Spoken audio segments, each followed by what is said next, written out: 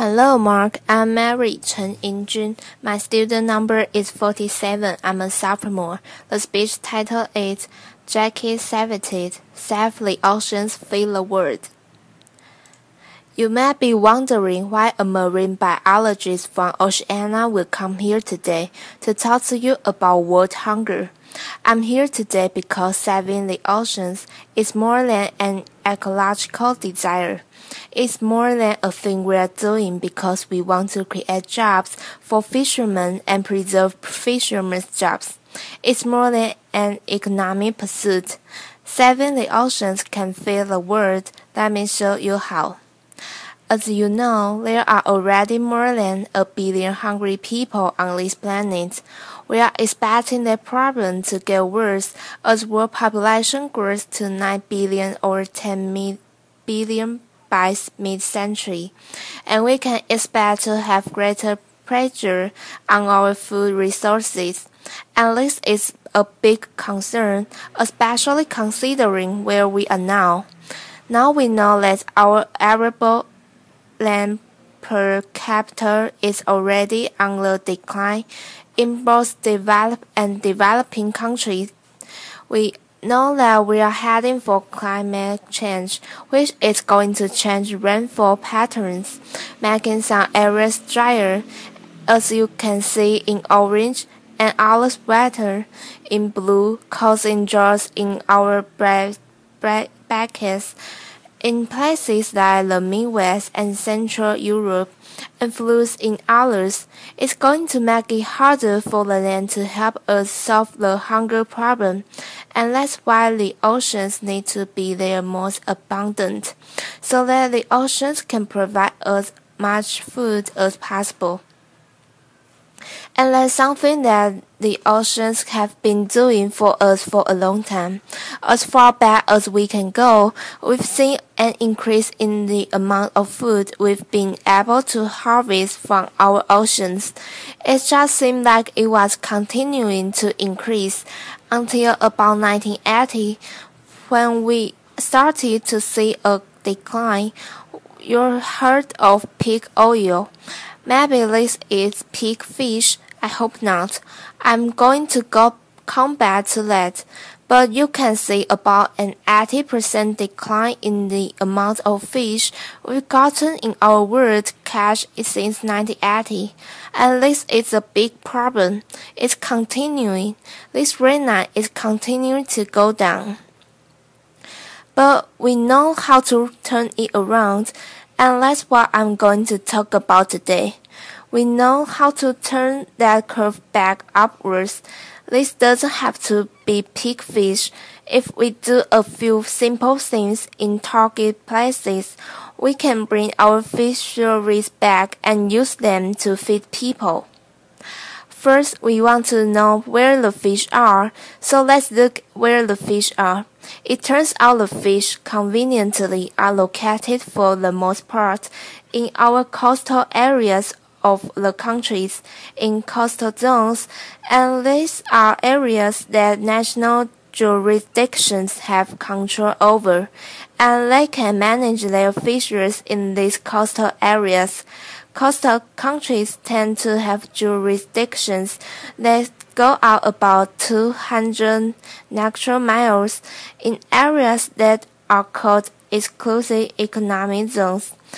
And this is a good thing that they can control their fisheries in these areas because the high seas, which are the darker areas on this map, the high seas is a hard, it's a lot harder to control things because it has to be done internationally. You get into international agreements and if any of you are checking the climate change agreement, you know this can be a very slow, frustrating, tedious process. And so controlling things nationally is a great thing to be able to do. How many fish are actually in these coastal areas compared to the high seas? Well, you can see here about seven times as many fish in the coastal areas than there are in the high seas.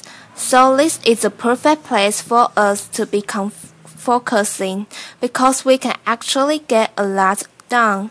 We can restore a lot of our fisheries if we focus in these coastal areas. But how many of these countries do we have to work in?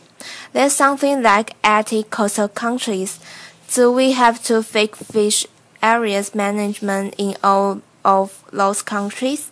So we ask ourselves, how many countries do we need to focus on, keeping in mind that the European Union conveniently manages its fish areas through a common fisheries policy. So if we got good fish areas management in the European Union and say nine other countries, how much of our fisheries would we be covering? Turns out Euro European Union plus nine countries covers about two-thirds of the world's fish catch. If we took it up to 24 countries plus the European Union, we were up to 90%, almost all of the world's fish catch. So we think we can work in a limited number for places to make the fisheries come back. But what do we have to do in these places? Well, based on your our work in the United States and elsewhere, we know that there are three key things we have to do to bring fisheries back, and are we need to set quotas or limits on how much we take. We need to reduce bycatch, which is the accidental catching and killing of fish that we are not targeting, and it's very wasteful. And three, we need to protect habitats, the nursery areas, and spawning areas that these fish need to grow and reproduce successfully so that they can rebuild their populations. If we do those three things, we know the fisheries will come back. How do we know? We know because we've seen it happening in a lot of different places. This is a slide that shows the herring population in Norway that was crashing since the 1950s. It was coming down, and when Norway set limits or quotas on its fishery, what happens? The fisheries come back. This is another example. Also happens to be from Norway, of the Norwegian Arctic coast. Some deal, the fishery is crashing. They set limits on discards. Discards are these fish they won't targeting or they get thrown overboard wastefully. When they set the discard limit, the fisheries come back, and it's not just in Norway. We've seen this happening in countries all around the world time and time again. When these countries step in and they put in sustainable fisheries management policies, the fisheries which are always crashing, it seems, are starting to come back. So there's a lot of promise here. What does this mean for the world fish catch? This means that if we take that fish every catch that's on the decline and we could turn it upwards, we could increase it up to 100 million metric tons per year. So we didn't have peak fish yet. We still have an opportunity to not only bring the fish back, but to actually get more fish that can feed more people that we can currently are now. How many more? Right about now, we can feed about 450 million people a fish meal a day based on the current world fish catch, which of course you know is going down so that number will go down over time if we don't fix it. But if we put fishery management practices like the ones I've described in place in 10 to 25 countries, we could bring that number up and feed as many as 700 million people a year a healthy fish meal. We should observe obviously do this just because it's a good thing to deal with the hunger problem. but it's also cost effective. It turns out fish is the most cost effective protein on the planet. If you look at how much fish protein you get per dollar invested compared to all of the other animal proteins, obviously, fish is a good business decision. It also doesn't need a lot of land, something that ensures supply compared to other protein sources, and it doesn't need a lot of fresh water. It uses a lot less fresh water than, for example, cattle, where you have to irrigate a field so that you can grow the food to graze the cattle. It also has a very low carbon footprint. It has a little bit of a carbon footprint because we do have to get out and catch the fish. It takes a little bit of fuel, but as you know, agriculture can have a carbon footprint and fish has a much smaller one, so it's less polluting. It's already a big part of our diet, but it can be a bigger part of our diet, which is a good thing because we know that it's healthier for us. It can reduce our risk of cancer heart disease, and obesity. In fact, our CEO Andy Sharpless, who is the originator of this concept, actually, he likes to say fish is the perfect protein. Andy also talks about the fact that our ocean conservation movement really grew out of the land conservation movement. And in that conservation, we have this problem where biodiversity is at war with food production. You have to cut down the biodiverse forest if you want to get the field to grow the corn to feed people with. And so there's a constant push-pull there. There's a constant tough decision that has to be made between two very important things maintaining biodiversity and feeding people. But in the oceans, we don't have that war. In the oceans, bi- biodiversity is not at war with abundance. In fact, they are aligned. When we do things that produce biodiversity, we actually get more abundance and less important so that we can feed people. Now that's a catch. Did anyone get that? Laughter. Illegal fishing.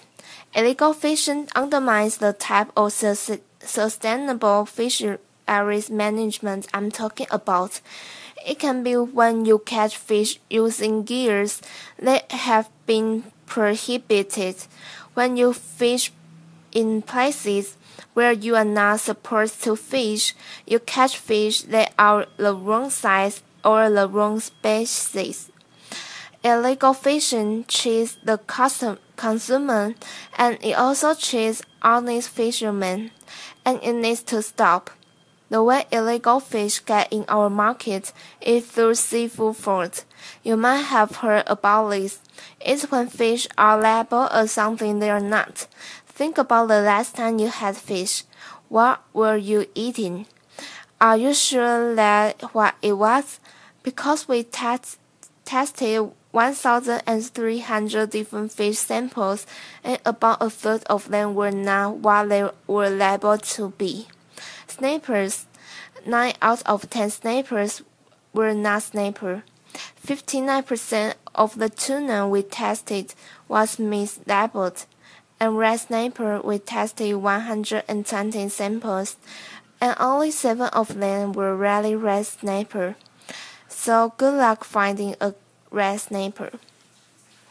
Seafood has a really com complex supply chain, and at every step in the supply chain, there's an opportunity for seafood fraud unless we have traceability.